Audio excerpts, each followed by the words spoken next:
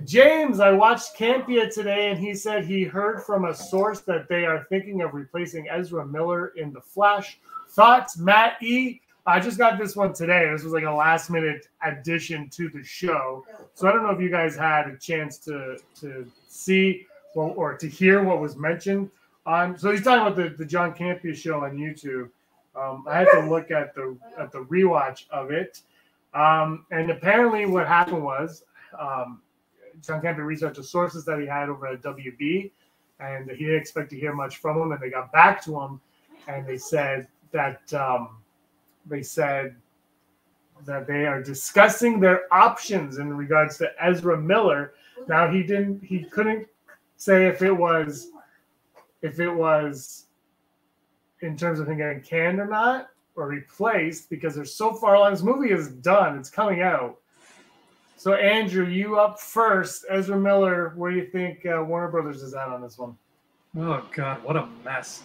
Um, I mean, I think that answer says it all. I don't know who Campea's source is, but the the super corporate say a bunch of stuff without saying anything at all response would have been something along the lines of we are so proud of Ezra and our Flash product, and we can't wait for fans to see our Flash product. Please consume. Um, and I think that if they had no plans to replace him, they would have went with that. They would have said, "No, our Flash product is great. You will love it. Spend." Uh, but the fact that their answer was, eh, "We're weighing our options," might be a way of saying without full on saying and perhaps breaking some kind of legality issue. Yeah, there are talks happening. I just can't say anything else. So it hmm. sounds like we might be heading down that road. What does it mean for this movie, which is, like you say, almost done? who knows? Um, I think recasting is fine. I mean, hell, we've had seven Batman. Why can't we have two Flashes? Um, so go for it if you need to, because clearly this guy's a loose cannon, and uh, you probably want Flash to stick around because Flash is an important character. So get somebody that's not going to stir up shit in Hawaii.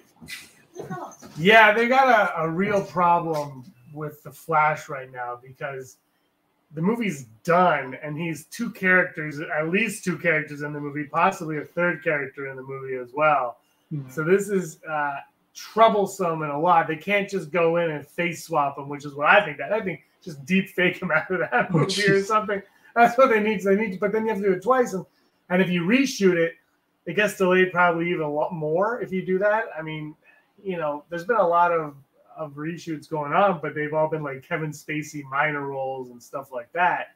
So I don't I don't know how you get around the Flash. I, for me, I think you got to get him into to rehab, get him to clean up a little bit, and then when the movie comes out, he can be like, I'm I'm born again. I'm a good guy. I've learned my lesson. Uh, Steve, what do you think? I mean, I know you're very excited for the Flash movie. First of all, do you think the Flash will exist? I, I, don't have a ticket yet. um, no, I think um, uh, it, it's a real tricky situation and almost a precedent setting situation. I can't recall any movie that has had that kind of dilemma, but they also have, thanks to all the delays, they have time to figure out a course of action, whether it be to outright replace him and, and uh, you know do reshoots, or like you said, put him into rehab, bring him back out with a try and try and go for a better uh, public relations image.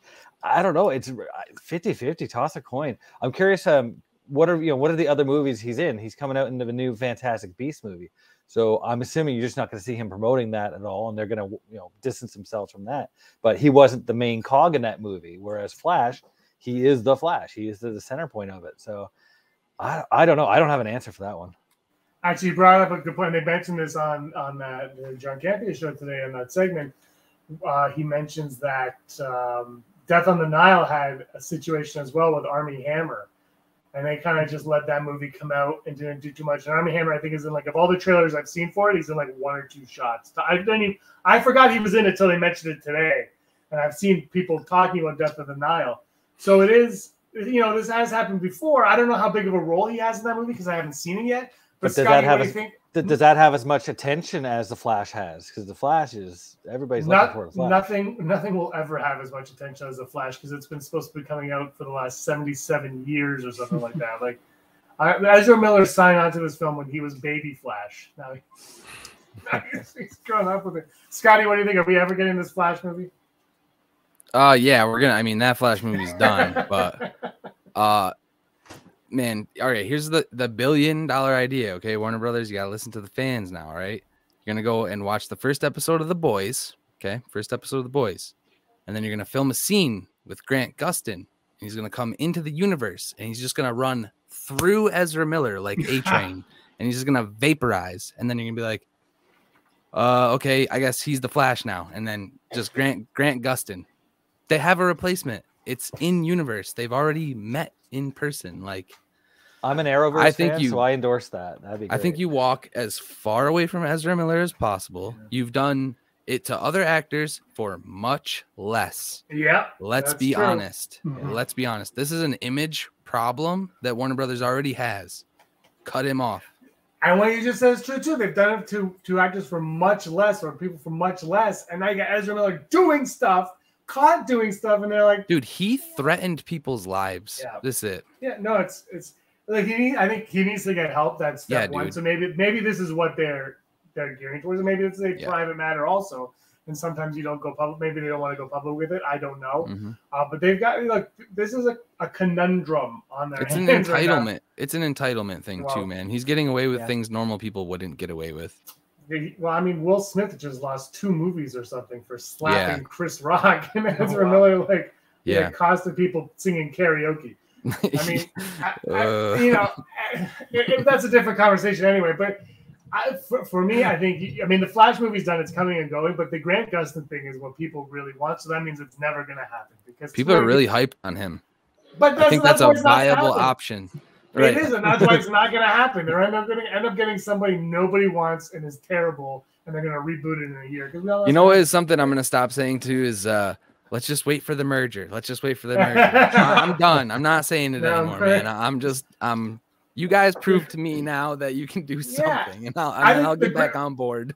Grant Gustin makes the most sense. He met Ezra Miller in the Crisis of, uh, on TV event, so like just just I don't Do know. a the end, event just- in a movie and then No, that's they're they're aiming towards that, but that's a few Yeah. years down the road still because they got to get to that. It's going to take a little while. I, I think you got to get there, but you got to get rid of Ezra Miller before you get there, and you can't get rid of him in this Flash movie. I mean, honestly, they have uh they have a lot of one and done um they have a lot of one and done Justice League type storylines. They could easily not return to the Flash again until they do a Snyder verse type of whatever. Yeah. Like that could be way down the line. Well, I mean, we haven't got the Flash anyway, so who cares? Right. so like we never got this movie here. We're just gonna shelve it and we'll all forget Dude, about it. imagine. No, I, I think you. They no, I, I think the two, they added two. I think you get. I think you. What you do is you get rid of them. You announce it sometime before or after the movie. You replace Mm-hmm. him in the movie without telling anyone. Then the movie ends, and you reshoot an ending where a different actor is playing the Flash, and that's Yep. how you just move along from it. You don't t- don't tell me who's playing the Flash if it's Grant Gustin or, or Yes. Johnny Depp. You don't tell me. You just kind of have it happen in the movie. And then the movie ends. Like, oh, they moved on from Ezra Miller, and now we got that. Um, so I, it's It's already got think- two Batman in it, right? It's not like it's it's going to be weird in that movie to see that. And hey, if What if- Grant Gustin wants to bring Felicity Smoak along with him, I am all on board. Dude, what if uh this is like a thousand IQ play from Ezra Miller and he knows this movie's not gonna be good? What if he's just like, all right, I gotta get out of this contract and he's breaching it somehow? He's like, he's got look, man. Ezra Miller for he's got two like fantastic beasts. Think what you want about any of it. He's got two massive franchises beneath him. That he's like, like it, fantastic. They're not going to just stop making Fantastic Beast movies unless this one makes seventeen dollars. They're not going to stop.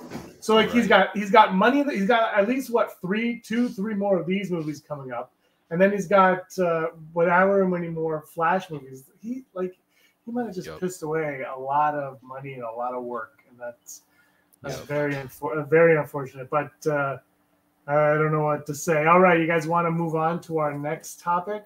Yeah. please. Or Steve, did you have so Steve, did you want to say something about Grant Gustin being the Flash? Do it. All right. I- our next topic. Do it, go, man. it my Arrowverse. internet Yes, just- you're a fan, right? I don't know what he's referring to. I, I, I, I'm before it. I'm, a- I'm a huge Arrowverse fan. I love the Arrowverse so you watched more all than I of love. the, you watched all of Arrowverse, but not Flash. Yeah. Yeah. yeah. dude. Actually, the first couple seasons of Flash is good. Oh no no no no sorry no I've Oh, watched okay. all the Flash. That's I'm Okay, all in on the. Flash. Um, the only ones in the Arrowverse I haven't watched are uh, like the uh, Supergirl. I Do you guys first have a favorite character from the Flash show? You guys all watch the Flash? From the show, my favorite character is probably Joe West. Emma Oh. Frost for me. Yeah, But yeah. yeah, she's cool. I'm I'm debating. I'm debating. you know what? I didn't like Cisco at first. Cisco I hated in the first season, but by the end of by his run, he won me over, and I was a big Dude, evil. Cisco.